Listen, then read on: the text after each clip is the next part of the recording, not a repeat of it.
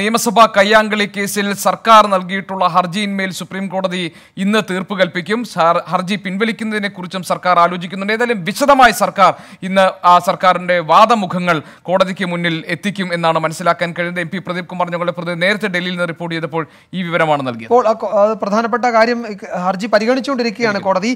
Case പിൻവലിക്കുന്നതിന് പിന്നിലെ പൊതു താല്പര്യം എന്തെന്ന് കോടതിയിൽ ബോധ്യപ്പെടുത്തണമെന്നാണ് ജസ്റ്റിസ് എം ആർ ഷാ അഭിപ്രായപ്പെട്ടിരിക്കുന്നത്. നിയമസഭാ കേസ് സർക്കാരിന് വേണ്ടി രഞ്ജിത് കുമാർ വാദിക്കുന്നുണ്ട് പ്രതിപക്ഷവും ഭരണപക്ഷവും തമ്മിൽ പ്രശ്നമുണ്ടായി. ചില വനിതാ എം എൽ എമാർക്ക് പരിക്കേറ്റു. നിയമസഭാ സെക്രട്ടറി തന്നെയാണ് പരാതി നൽകിയത്. ഇത്രയും കാര്യങ്ങൾ സർക്കാർ അഭിഭാഷകൻ പ്രസന്റ് ചെയ്തതിന് ശേഷമാണ് കോടതി ചോദിച്ചത്. കേസ് പിൻവലിക്കുന്നതിന് പിന്നിലെ പൊതു താല്പര്യം എന്താണെന്ന് ബോധ്യപ്പെടുത്തണം എന്നിപ്പോൾ കോടതി അറിയിച്ചിരിക്കുന്നു. നമുക്ക് ഈ നേരത്തെ കോടതി നടത്തിയിട്ടുള്ള പരാമർശങ്ങളെ അതിനെ പിൻപറ്റിയാണ് ഇന്നിപ്പോൾ ഈ കോടതി ഈ പോകാൻ പോകുന്നതെങ്കിൽ സ്വാഭാവികമായി സർക്കാരിന് അത് പ്രതിരോധത്തിലാക്കും. നിങ്ങളുടെ കക്ഷികൾക്കെതിരെയുള്ള കേസ് എന്തെന്ന് സർക്കാരിനോട് ജസ്റ്റിസ് ഡി വൈ ചന്ദ്രചൂഡ് ചോദിക്കുന്നുണ്ട്. നിങ്ങളുടെ? നിങ്ങളുടെ കക്ഷികൾക്കെതിരെയുള്ള കേസ് എന്താണെന്ന്? കോടതി ഇതിലെ പൊതു താല്പര്യത്തെ പറ്റി വിശദീകരിക്കാനാണ് കോടതി പറയുന്നത്. ആർക്കെതിരെയാണ് സർക്കാർ കോടതിയിൽ പോയിരിക്കുന്നതെന്ന് എന്ന് ധ്വനിയും ഉണ്ട്. ചിലർ മൈക്കെടുത്തെറിയുന്നത് വരെ ദൃശ്യങ്ങളിൽ ഉണ്ടെന്ന് കോടതി അഭിപ്രായപ്പെട്ടിട്ടുണ്ട്. ശരി. ആ രാധാകൃഷ്ണൻ ആ രാധാകൃഷ്ണൻ ഞങ്ങളുടെ പ്രതിനിധി അല്പസമയത്തിനകം തന്നെ ടെലിഫോണിൽ ഉണ്ടാകും. പക്ഷേ അതിനു മുൻപ് നമുക്ക് പ്രധാന വാർത്തകൾ നോക്കാം. ഹെഡ്ലൈൻസ് നോക്കിയ ശേഷം. ശരി ഒരു മിനിറ്റ് ആർ രാധാകൃഷ്ണനുണ്ട്. ഏറ്റവും പ്രധാനപ്പെട്ട വിവരങ്ങൾ നൽകാൻ. ആർ കെ ഇപ്പോൾ കോടതി സുപ്രീം കോടതി ഈ വിഷയം പരിഗണിക്കുന്നു. എന്തൊക്കെയാണ് കോടതിയുടെ ഭാഗത്തുനിന്നുണ്ടായിട്ടുള്ള പരാമർശങ്ങൾ? എന്താണ് ഇപ്പോൾ ഏറ്റവും പുതിയ അപ്ഡേറ്റ്? എന്താണ് ആർ കെ? ഗോപി ഏറ്റവും പ്രധാനമായിട്ടും ഉള്ള കാര്യം മുൻ അഡീഷണൽ സോളിസിറ്റർ ജനറൽ ഇപ്പോൾ കഴിഞ്ഞ തവണ കോടതിയിൽ വ്യക്തമാക്കിയത് അന്നത്തെ ധനമന്ത്രി അദ്ദേഹത്തിന്റെ പേരിൽ അഴിമതി ആക്ഷേപം ഉണ്ടായ സമയത്താണ് ഈ പ്രതിഷേധങ്ങൾ ഉണ്ടായത് എന്നതാണ്. ആ പരാമർശം തിരുത്തിയിരിക്കുന്നു എന്നതാണ്. അന്നത്തെ ധനമന്ത്രി എന്നുള്ളത് കെ എം മാണി എന്ന് വ്യാഖ്യാനിക്കപ്പെടുകയും വലിയ രീതിയിൽ രാഷ്ട്രീയമായിട്ട് പ്രതിഷേധങ്ങൾ കേരളത്തിൽ ഉണ്ടാവുകയും ചെയ്തിരുന്നു. ഈ ഒരു പശ്ചാത്തലത്തിലാണ് ആ പരാമർശം ഇന്ന് അദ്ദേഹം കോടതിയിൽ തിരുത്തിയിരിക്കുന്നത്. ഈ നടപടിക്രമങ്ങൾ ഇപ്പോൾ നടക്കുകയാണ്. സർക്കാരിനെ സംബന്ധിച്ച് ഏറ്റവും വലിയൊരു പ്രതിരോധത്തിൽ നിൽക്കുന്ന ഒരു സാഹചര്യമാണ് ഈ കേസുമായി ബന്ധപ്പെട്ട് ഉള്ളത്. കഴിഞ്ഞ തവണ കേസ് പരിഗണിച്ച ഘട്ടത്തിൽ കോടതി രൂക്ഷമായിട്ടുള്ള വിമർശനങ്ങൾ ഇത്തരത്തിലുള്ള ഒരു കേസ് അതിൽ അപ്പീൽ സമർപ്പിച്ച വിഷയത്തിൽ ഉന്നയിച്ചിരുന്നു. നിയമസഭയുമായി ബന്ധപ്പെട്ടിട്ട് കാത്തു സൂക്ഷിക്കേണ്ട അംഗങ്ങൾ പാലിക്കേണ്ട മര്യാദകൾ. അത് ലംഘിക്കുന്ന ഒരു സാഹചര്യത്തിലേക്കാണ് കാര്യങ്ങൾ എത്തിയത് എന്നതടക്കമായിരുന്നു കോടതിയുടെ നിരീക്ഷണം. വിചാരണ നേരിടുക തന്നെ വേണം എന്ന ഒരു നിരീക്ഷണം ആ ഘട്ടത്തിൽ തന്നെ കോടതി പറഞ്ഞിരുന്നു. അന്ന് നോട്ടീസ് അയക്കാൻ പോലും കോടതി തയ്യാറാകാതെയാണ് ഈ കേസ് ഇന്നത്തേക്ക് മാറ്റിവെച്ചത്. ആ ഘട്ടത്തിലും സർക്കാരിനെ സംബന്ധിച്ച് വലിയ പ്രതിരോധമുണ്ടാകും. എന്ന ഒരു നിരീക്ഷണം ആ ഘട്ടത്തിലും ഉണ്ടായിരുന്നു. തുടർന്നാണ് ഇന്ന് കേസുമായി ബന്ധപ്പെട്ട നടപടികൾ ആരംഭിച്ചിരിക്കുന്നത്. ഇത് തടസ്സ ഹർജിയുമായിട്ട് രമേശ് ചെന്നിത്തല ഉണ്ട്. രമേശ് ചെന്നിത്തലയ്ക്ക് വേണ്ടി മുതിർന്ന അഭിഭാ അഭിഭാഷകനാണ് ഇന്ന് ഹാജരാകുന്നത്. ഏറ്റവും പ്രധാനപ്പെട്ട നമ്മൾ ശ്രദ്ധിച്ചുകൊണ്ടിരിക്കുന്നതിൽ ഏറ്റവും പ്രധാനപ്പെട്ടത് ഏതെങ്കിലും വിധത്തിലുള്ള ഒരു എതിർ പരാമർശങ്ങൾ കോടതിയുടെ ഭാഗത്തു നിന്നുണ്ടായാൽ അത് ഈ സർക്കാരിനെ വലിയ രീതിയിൽ രാഷ്ട്രീയമായി പ്രതിരോധത്തിലാക്കും എന്ന കാര്യത്തിൽ യാതൊരു ഇതിൽ ഇപ്പോൾ കോടതിയുടെ ചില പരാമർശങ്ങൾ വളരെ കൗതുകമുണ്ട്. കാരണം കോടതി പറയുന്നത് കോടതികളിലും അഭിഭാഷകർക്ക് പലപ്പോഴും നിയന്ത്രണം വിടാറുണ്ട്. പക്ഷേ അതിന്റെ പേരിൽ കോടതിയുടെ വസ്തുക്കൾ നശിപ്പിക്കുന്നത് ന്യായീകരിക്കാൻ കഴിയുമോ എന്നാണ്. അതായത് ഈ പൊതുമുതൽ നശിപ്പിച്ചു അത് ന്യായീകരിക്കാൻ കഴിയില്ല അതിൽ വിചാരണ വേണമെന്ന നിലപാടിൽ നിന്ന് കോടതി ഒട്ടും മയപ്പെട്ടിട്ടില്ല അതിൽ തന്നെ ഉറച്ചു നിൽക്കുകയാണ് എന്നതാണല്ലോ ഈ പരാമർശങ്ങൾ നമ്മൾ അതിന്റെ ഒരു ആകത്തുക അല്ലേ? തീർച്ചയായിട്ടും ആണ് വിജയ് ഇതിൽ കോടതിയുടെ ഭാഗത്ത് നിന്ന് കോടതി പറയുന്നത് ഈ കോടതിക്ക് ഈ നിയമസഭയ്ക്കുള്ളിൽ നടന്ന സംഭവങ്ങളുമായി ബന്ധപ്പെട്ട് പ്രത്യേക അധികാരങ്ങളുണ്ട് എന്ന വാദമാണ് സംസ്ഥാന സർക്കാരിന്റെ ഭാഗത്ത് നിന്ന് ഉണ്ടാകുന്നത്. എന്നാൽ ആ പ്രത്യേക അധികാരത്തിന്റെ പരിധി അല്ലെങ്കിൽ അതെങ്ങനെ വിവരിക്കണം എന്നതിനെ സംബന്ധിച്ച നിരീക്ഷണമാണ് കോടതി നടത്തുന്നത്. ഇതിൽ അംഗങ്ങൾ ഭരണഘടന അനുസൃതമായിട്ടുള്ള പ്രവർത്തനം അല്ലെങ്കിൽ ഭരണഘടനയിൽ പറഞ്ഞിരിക്കുന്ന പ്രതിഷേധങ്ങൾ ഒക്കെ നടത്തുന്ന വേദിയായി നിയമസഭയെ പരിഗണിക്കാം. പക്ഷേ അതിലുപരിയുള്ള കാര്യങ്ങൾ നടന്നാൽ ഈ വിഷയത്തെ എങ്ങനെ പരിഗണിക്കണം എന്നതാണ് കോടതിയുടെ മുമ്പിലെ ഇപ്പോഴത്തെ ഏറ്റവും പ്രധാനപ്പെട്ട വിഷയമായി നിൽക്കുന്നത്. ഒരുപക്ഷെ ഇന്ത്യയുടെ നിയമചരിത്രത്തിൽ തന്നെ വലിയ രീതിയിൽ ശ്രദ്ധിക്കപ്പെടുന്ന ഒരു കേസായി പ്രത്യേകിച്ച് ഈ നിയമസഭയ്ക്കുള്ളിലെ അധികാരം സംബന്ധിച്ചിട്ടുള്ള വിഷയത്തിൽ കാര്യങ്ങൾ എത്തുന്ന വിധത്തിലേക്കാണ് കോടതി നടപടികൾ പുരോഗമിക്കുന്നതെന്നാണ് നമുക്ക് ഇപ്പോൾ മനസ്സിലാക്കാൻ സാധിക്കുന്നത്. ഏറ്റവും പ്രധാനപ്പെട്ടത് ഇന്നത്തെ കോടതി നടപടികൾ ആരംഭിച്ചപ്പോൾ ഏറ്റവും പ്രധാനപ്പെട്ടത് സർക്കാരിനുണ്ടായിരിക്കുന്ന മനംമാറ്റമാണ്. മാണി അഴിമതിക്കാരനാണ് എന്ന വിധത്തിൽ നടത്തിയ പരാമർശം. അത് സർക്കാർ പിൻവലിച്ചിരിക്കുന്നു എന്നതാണ് ഏറ്റവും അതിലെ അതിലൊരു വ്യക്തത വരുത്താമോ? ആർക്കെ എന്താണ് അക്കാര്യത്തിൽ തിരിച്ച് പറഞ്ഞത് സർക്കാർ? ഗവൺമെന്റിനെതിരായ പ്രതിഷേധം അത് ധനമന്ത്രി എന്നത് മാറ്റി ഗവൺമെന്റിനെതിരായ അന്നത്തെ സർക്കാരിനെതിരായ പ്രതിഷേധം എന്ന നിലയിലേക്ക് അത് മയപ്പെടുത്തിയോ ഗവൺമെന്റ്? തീർച്ചയായിട്ടും.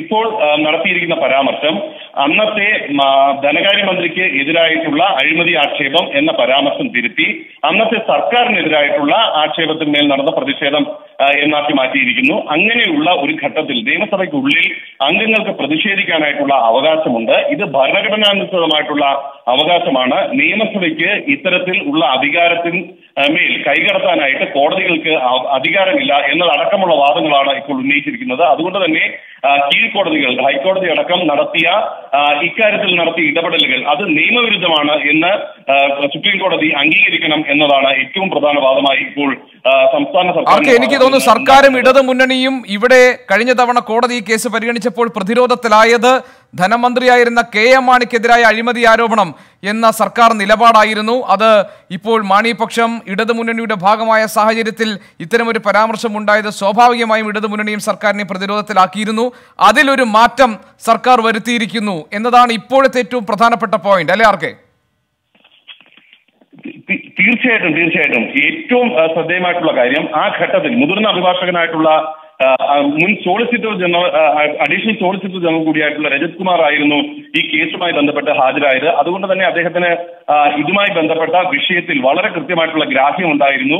അദ്ദേഹം പറഞ്ഞത് അന്നത്തെ ധനമന്ത്രിയായിരുന്ന ആൾക്ക് എതിരെ ഉണ്ടായ അഴിമതി ആക്ഷേപം എന്നതായിരുന്നു. അത് കെ എം മാണി എന്ന് പേരെടുത്ത് പറഞ്ഞില്ല. പറഞ്ഞെന്ന് വിധത്തിൽ ചില മാധ്യമങ്ങളിൽ വാർത്തകൾ വരികയും ചെയ്തിരുന്നു. പക്ഷേ അന്നത്തെ ധനമന്ത്രി അത് ഉദ്ദേശിച്ചത് കെ എം മാണിയെ തന്നെയായിരുന്നു. ആ പരാമർശത്തിനെതിരെ വലിയ രാഷ്ട്രീയ വിവാദം ഉണ്ടാവുകയും ആ വിവാദത്തിന്റെ അടിസ്ഥാനത്തിൽ പല വിധത്തിൽ ഈ അപ്പോഴത്തെ രാഷ്ട്രീയ സാഹചര്യങ്ങളെ സംരക്ഷിച്ച് നിർത്താനായി സർക്കാർ ശ്രമിക്കുകയും ചെയ്തു. ഇതിന് തുടർച്ചയെന്ന രീതിയിലാണ് ഇന്നിപ്പോൾ ഈ പരാമർശം തിരുത്തിയിരിക്കുന്നത് അന്നത്തെ ധനമന്ത്രി എന്നല്ല ഉദ്ദേശിച്ചത്. പകരം അന്നത്തെ സർക്കാരിനെതിരായിട്ടുള്ള അഴിമതി ആക്ഷേപത്തിന് എതിരായിട്ടുള്ള പ്രക്ഷോഭങ്ങൾ നടന്ന ഘട്ടത്തിലാണ്. അത് രൂക്ഷമായിട്ടുള്ള അഴിമതി ആക്ഷേ- ആക്ഷേപങ്ങൾ ഒരു വിധത്തിലും അന്വേഷണ നടപടികൾ ഇല്ലാതെ മുന്നോട്ട് പോകാൻ സാധിക്കാത്ത ഒരു സാഹചര്യത്തിൽ പ്രതിഷേധം രൂക്ഷമായി രേഖപ്പെടുത്തുക അനിവാര്യമായിരുന്നു. അത് പ്രതിപക്ഷത്തിന്റെ അവകാശമാണ്. അന്ന് പ്രതിപക്ഷത്തുണ്ടായിരുന്ന ഇടതുപക്ഷം ഇപ്പോൾ ഭരണപക്ഷത്താണ് ഇപ്പോൾ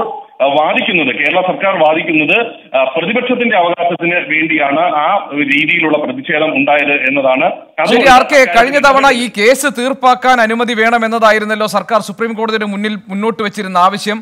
കഴിഞ്ഞ തവണ കേസ് പരിഗണിച്ചപ്പോൾ തന്നെ സുപ്രീം കോടതി അതിനുള്ള സാധ്യത കുറവാണെന്ന സൂചന നൽകി. മാത്രമല്ല എം എൽ എമാർക്ക് യോജിച്ച തരത്തിലുള്ള ഒരു പ്രവൃത്തിയായിരുന്നില്ല നിയമസഭയിൽ ഉണ്ടായിരുന്നതെന്നും ഇവർ വിചാരണ നേരിടേണ്ടതാണെന്നുമുള്ള കടുത്ത പരാമർശങ്ങളിലേക്ക് കോടതി കടക്കുകയും ചെയ്തു.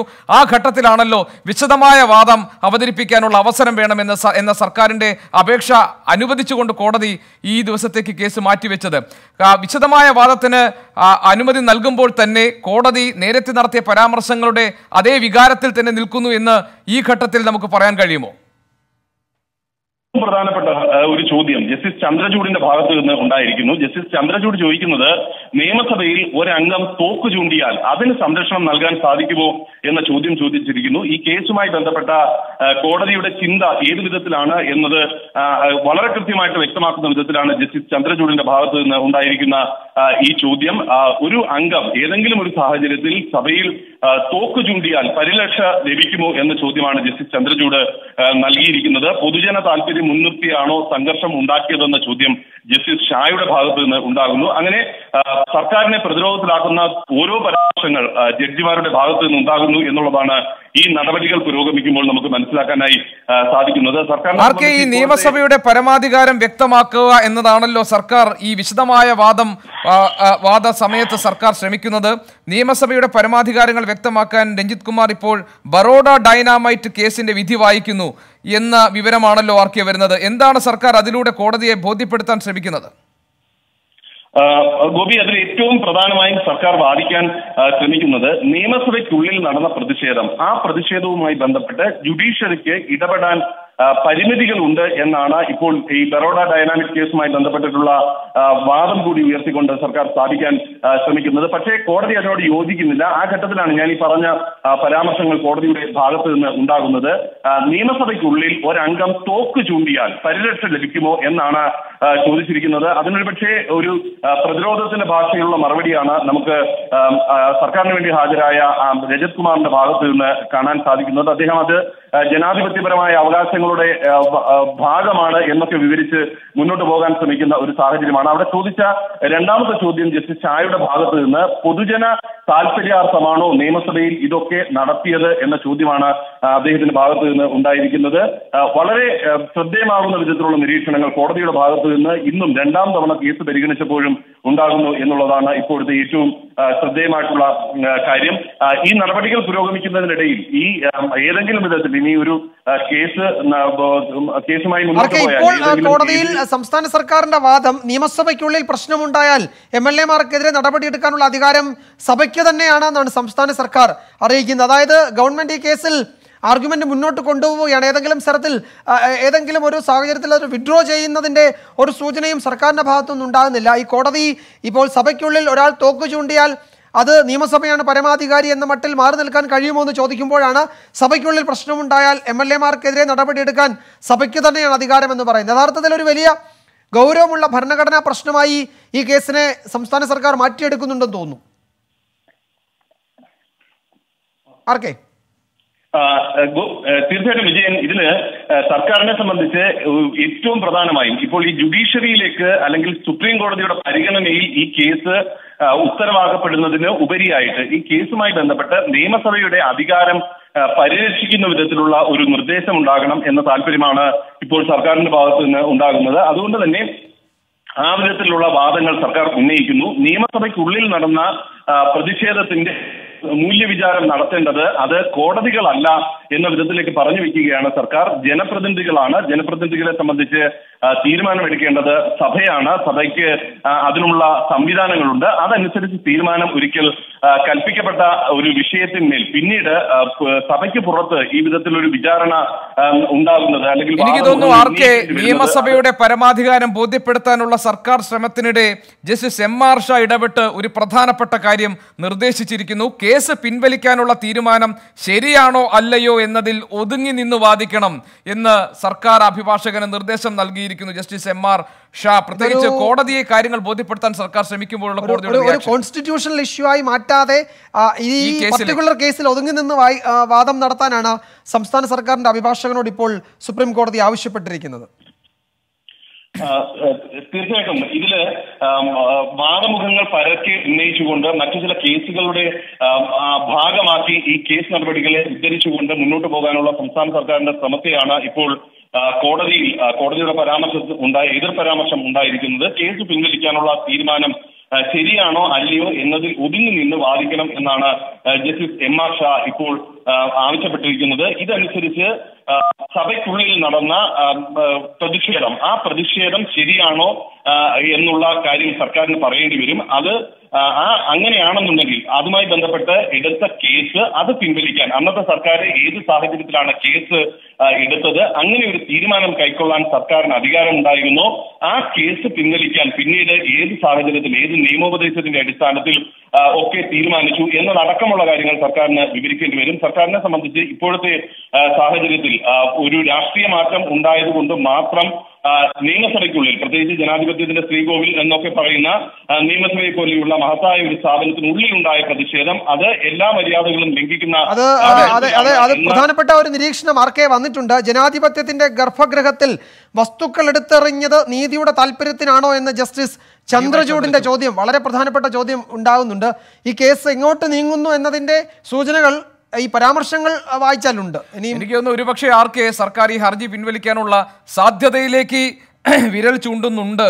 ഈ കോടതിയുടെ ഭാഗത്തുനിന്നുള്ള ഈ പരാമർശങ്ങൾ എന്ന് വേണമെങ്കിൽ ഈ ഘട്ടത്തിൽ പറയാം. കാരണം വിജയൻ പറഞ്ഞതുപോലെ തന്നെ ജസ്റ്റിസ് ഡി വൈ ചന്ദ്രചൂഡ് ചോദിച്ചിരിക്കുന്നത് ജനാധിപത്യത്തിന്റെ ഗർഭഗൃഹത്തിൽ വസ്തുക്കൾ എടുത്തെറിഞ്ഞത് നീതിയുടെ താല്പര്യത്തിനാണോ എന്നാണ് ഡി വൈ ചന്ദ്രചൂഡ് ചോദിച്ചിരിക്കുന്നത്. ഒരുപക്ഷെ സർക്കാർ വാദമുഖങ്ങൾ നിരത്തി നിയമസഭയുടെ പരമാധികാരത്തെ ഊട്ടിയുറപ്പിക്കാൻ ശ്രമിക്കുമ്പോൾ കോടതിയുടെ ഇടപെടൽ ഉണ്ടാകുന്നു. അതാദ്യം ജസ്റ്റിസ് എം ആർ ഷായിലൂടെ കേസ് പിൻവലിക്കാനുള്ള തീരുമാനം ശരിയാണോ അല്ലയോ എന്നതിൽ ഒതുങ്ങി നിന്ന് വാദിക്കണം എന്ന് സർക്കാർ അഭിഭാഷകനോട് പറയുന്നു.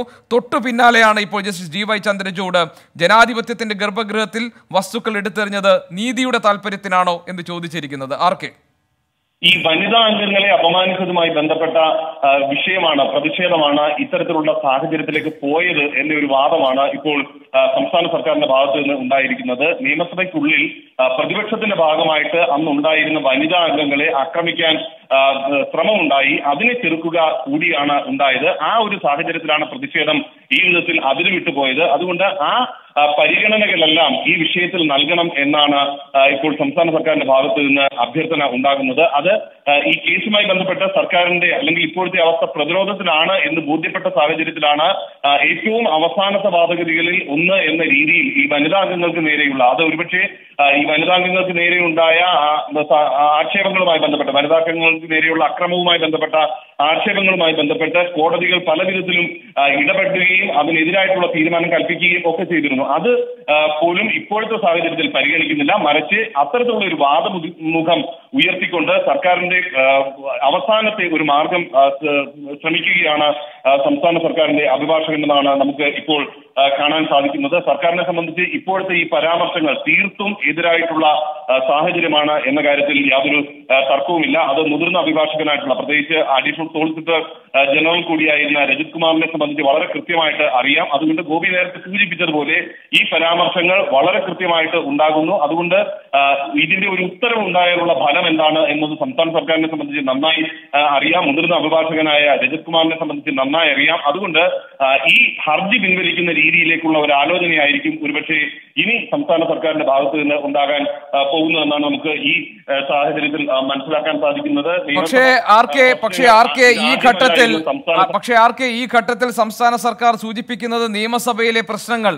രാജ്യത്ത് ഇത് ആദ്യമായിട്ടല്ല. യു പി നിയമസഭയിലെ സംഭവങ്ങൾ ചൂണ്ടിക്കാട്ടി ഇത്തരം സംഭവങ്ങൾ ഇതാദ്യമായിട്ടല്ല എന്ന് കോടതിയുടെ ശ്രദ്ധ ക്ഷണിക്കുകയാണ് സംസ്ഥാന സർക്കാരിന്റെ അഭിഭാഷകൻ. പക്ഷേ ആർ കെ പറഞ്ഞതുപോലെ തന്നെ വളരെ ശക്തമായ ഇടപെടൽ കോടതി പരാമർശങ്ങളിലൂടെ നടത്തുന്ന ഈ ഘട്ടത്തിൽ ഒരുപക്ഷെ സർക്കാർ ഈ ഹർജി പിൻവലിക്കാനുള്ള സാധ്യതകളെ നമുക്ക് തള്ളിക്കളയാൻ കഴിയില്ല. എങ്കിലും സർക്കാർ ഇപ്പോഴും സർക്കാർ അഭിഭാഷകൻ മുന്നോട്ട് വെക്കുന്നത് നിയമസഭയ്ക്കകത്തുണ്ടായിട്ടുള്ള കാര്യങ്ങളുടെ അധികാരം സഭയ്ക്ക് തന്നെയാണെന്നും ഇത്തരം സംഭവങ്ങൾ ഇന്ത്യൻ ജനാധിപത്യത്തിൽ ഇത് ആദ്യത്തേതല്ലെന്നും ഉത്തർപ്രദേശ് നിയമസഭയ്ക്കകത്ത് സമാനമായ രീതിയിലുള്ള പ്രതിഷേധങ്ങൾ ഉണ്ടായിട്ടുണ്ടെന്നും വനിതാ അംഗങ്ങളെ ആക്രമിച്ചപ്പോൾ അതിനെതിരായിട്ടുള്ള പ്രതിഷേധമാണ് ഈ നിലയിലേക്ക് വഴിമാറിയതെന്നുമൊക്കെയാണ് സംസ്ഥാന സർക്കാർ അഭിഭാഷകൻ കോടതിയെ ബോധ്യപ്പെടുത്താൻ ശ്രമിക്കുന്നത്. ഉത്തർപ്രദേശ് നിയമസഭയിലെ സംഭവങ്ങൾ ചൂണ്ടിക്കാട്ടുന്നു. ആർ ഗോപി ഇപ്പോൾ ഈ നിയമസഭയിലെ പ്രശ്നങ്ങളിൽ കേസ് പിൻവലിച്ചതുമായി ബന്ധപ്പെട്ടിട്ടുള്ള രേഖകൾ രജിത് കുമാർ അല്ല അതുമായി ബന്ധപ്പെട്ടുള്ള കേസുകൾ രജിത് കുമാർ സഭയിൽ കോടതിയിൽ പരാമർശിക്കുകയാണ്. അന്നുണ്ടായ സംഭവങ്ങൾ വനിതാ അംഗങ്ങൾക്ക് നേരെയുണ്ടായ അക്രമ സംഭവങ്ങൾ അതുമായി ബന്ധപ്പെട്ട് കേസ് നിലവിലുണ്ടായിരുന്നു.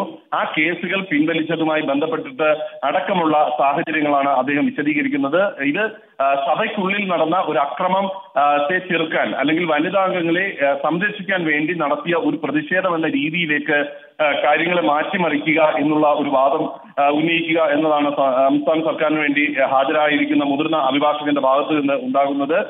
ഇതിൽ ഏറ്റവും അടിസ്ഥാനപരമായിട്ട് ഈ കേസുമായി ബന്ധപ്പെട്ട കോടതിയുടെ സമീപനം ഒരുപക്ഷെ സർക്കാരിന് വളരെ കൃത്യമായിട്ട് മനസ്സിലാകുന്നു. രാഷ്ട്രീയ നിറമുള്ളതാണ് അംഗങ്ങൾ തങ്ങളുടെ കേസെന്ന് സംസ്ഥാന സർക്കാർ അറിയിച്ചിരിക്കുകയാണ്. അതുകൊണ്ട് ഈ രാഷ്ട്രീയ നിറമുള്ള കേസിനെ സർക്കാർ കോടതി പ്രോത്സാഹിപ്പിക്കരുതും എന്നാണ് പറഞ്ഞിരിക്കുന്നത്. അന്ന് അതായത് ആർ ഈ സംസ്ഥാന സർക്കാർ സർക്കാരിന്റെ വാദമുഖങ്ങൾ വിശദമായി അവതരിപ്പിക്കുമ്പോൾ പുതിയ പുതിയ സ്ട്രാറ്റജി സർക്കാർ പുറത്തിറക്കുന്നുണ്ട്. ആദ്യഘട്ടത്തിൽ നിയമസഭയുടെ പരമാധികാരം സഭയ്ക്ക് തന്നെയാണെന്ന് ഊട്ടിയുറപ്പിക്കാൻ വേണ്ടിയുള്ള ശ്രമം. അതിന്റെ ഭാഗമായി ചില കേസുകൾ എടുത്തു കാണിക്കുന്നു. ആ ഘട്ടത്തിൽ കോടതി ചോദിക്കുന്നു സഭയ്ക്കകത്ത് ഒരു അംഗം വെടിവെച്ചാൽ അത് ആ അതിന്റെ സംരക്ഷണം ആർക്കാണ് എന്ന് കോടതി ചോദിക്കുന്നു. ആ ഘട്ടത്തിൽ ആ സംസ്ഥാന സർക്കാർ വീണ്ടും മാറ്റുന്നു. ആ അപ്പോൾ കോടതി ഇടപെട്ടുകൊണ്ട് ഈ കേസിലേക്ക് വരാൻ പറയുന്നു. അവിടെയാണ് കോടതി സംസ്ഥാന സർക്കാർ അഭിഭാഷകൻ പറയുന്നത് സഭയ്ക്കകത്ത് ഉണ്ടായിട്ടുള്ള പ്രശ്നങ്ങൾ അത് വനിതാ അംഗങ്ങൾക്ക് നേരെ ഉണ്ടായിരുന്ന ഒരു പ്രശ്നമായ ഘട്ടത്തിലാണ് ഇത്തരം സംഭവങ്ങളിലേക്ക് മാറിയത്. മാത്രമല്ല ഇന്ത്യൻ ജനാധിപത്യത്തിന്റെ ആദ്യത്തെ സംഭവമല്ല ഉത്തർപ്രദേശ് നിയമസഭയിലും സമാനമായ സംഭവങ്ങൾ ഉണ്ടായിട്ടുണ്ട്. പിന്നെ വീണ്ടും ഒരു ഘട്ടത്തിൽ പറയുന്നു രാഷ്ട്രീയ താല്പര്യം ഉൾക്കൊള്ളുന്ന കേസുകളാണ് എന്ന് രജിത് കുമാർ പരാമർശിക്കുകയാണ്. അപ്പോൾ കോടതിയുടെ ഒരു മൂഡ് കോടതി എങ്ങോട്ട് കാര്യങ്ങൾ കൊണ്ടുപോകുന്നു എങ്ങനെ ചിന്തിക്കുന്നു എന്ന് മനസ്സിലാക്കിക്കൊണ്ട് തങ്ങളുടെ വാദമുഖങ്ങൾ അവതരിപ്പിക്കുകയാണോ സംസ്ഥാന സർക്കാർ ഇപ്പോൾ ചെയ്യുന്നത്? തീർച്ചയായിട്ടുമാണ് ഗോപി. കാരണം ആദ്യ ഘട്ടത്തിൽ കഴിഞ്ഞ അവധിക്ക് കേസ് പരിഗണിച്ചപ്പോൾ തന്നെ കോടതി പറഞ്ഞ ഏറ്റവും പ്രധാനപ്പെട്ട കാര്യം അംഗങ്ങളുടെ അവകാശത്തിന്റെ ഭാഗമാണ് പ്രതിഷേധം എന്ന കാര്യത്തിൽ യാതൊരു തർക്കവുമില്ല കോടതിക്ക് എന്ന് കോടതി അന്ന് തന്നെ വ്യക്തമാക്കിയിരുന്നു. പക്ഷേ അവകാശങ്ങളാണോ അംഗങ്ങൾ നടത്തിയത്? അല്ലെങ്കിൽ അവകാശങ്ങളാണോ അംഗങ്ങൾ സ്വീകരിച്ചത് എന്നതിനെ സംബന്ധിച്ച ചോദ്യമാണ് കോടതിയുടെ ഭാഗത്തു നിന്നുണ്ടായത്. അംഗങ്ങളുടെ അവകാശം ഈ വിധത്തിലാണോ എന്നതാണ് കോടതിയുടെ ഭാഗത്തു നിന്നുണ്ടായ സംശയം. അതോടുകൂടി തന്നെ സർക്കാരിനെ സംബന്ധിച്ച് വളരെ കൃത്യമായിട്ട് ഏത് വിധത്തിലാണ് കാര്യങ്ങൾ പോകുന്നത് തുടരുക. നമുക്ക് ഈ വാർത്തയിലേക്ക് തന്നെയാണ് മടങ്ങി വരേണ്ടത്. വളരെ പ്രധാനപ്പെട്ട വാദങ്ങളാണ് സുപ്രീം കോടതിയിൽ നടക്കുന്നത്. വളരെ ലളിതമാണ് കോടതി ചോദിക്കുന്ന ചോദ്യം.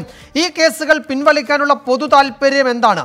അതിലേക്ക് വരൂ അതിലേക്ക് വരൂ എന്നാണ് സർക്കാർ അഭിഭാഷകനോട് കോടതി തുടർച്ചയായി പറയുന്നത്. അതിൽ ഗവൺമെന്റിന്റെ സ്റ്റാൻഡ് എന്താണ് എന്നത് നമുക്ക് അടുത്ത മണിക്കൂറിൽ അറിയാം. സുപ്രീം കോടതിയുടെ നിലപാട് എന്താണ് എന്നതും നമുക്ക് ഉടൻ അറിയാം. നിയമസഭാ കയ്യാങ്കളി കേസ് തീർപ്പാക്കണമെന്ന് ആവശ്യപ്പെട്ട് സംസ്ഥാന സർക്കാർ നൽകിയ ഹർജിയാണ് സുപ്രീം കോടതിയുടെ പരിഗണനയിലുള്ളത്. കോടതി ഈ വിഷയത്തിൽ സർക്കാരിനോട് വിജയൻ സൂചിപ്പിച്ചതുപോലെ പൊതു താല്പര്യം എന്താണ് അതിലേക്ക് വരാൻ എന്ന് ആവശ്യപ്പെടുന്നത്. ഏതായാലും നിയമസഭയുടെ പരമാധികാരം എണ്ണിപ്പറഞ്ഞും അതോടൊപ്പം ഇത്തരം കേസുകൾ ഇതിനു മുൻപ് ഉണ്ടായിട്ടുണ്ടെന്ന് സൂചിപ്പിച്ചും വനിതാ അംഗങ്ങൾക്ക് നേരെ ഉണ്ടായ അതിക്രമങ്ങളെ തുടർന്നാണ് ഈ സംഭവങ്ങൾ ഇങ്ങനെയായതെന്ന് വിശദീകരിച്ചും ഇതിന്റെ രാഷ്ട്രീയ സ്വഭാവമുണ്ടെന്ന് ബോധ്യപ്പെടുത്തിയും ഈ കേസിൽ സർക്കാർ വാദങ്ങൾ മുന്നോട്ട് പോകുന്നു.